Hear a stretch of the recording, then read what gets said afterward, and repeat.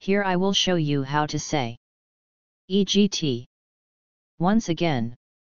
EGT. Well done, please like and subscribe.